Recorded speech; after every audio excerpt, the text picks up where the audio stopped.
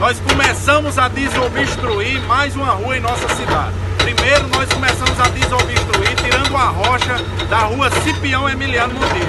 E agora, mais um sonho está sendo realizado. Estamos abrindo aqui um trecho da rua Maria Faria, tirando esse grande serrote que existia aqui há muito tempo.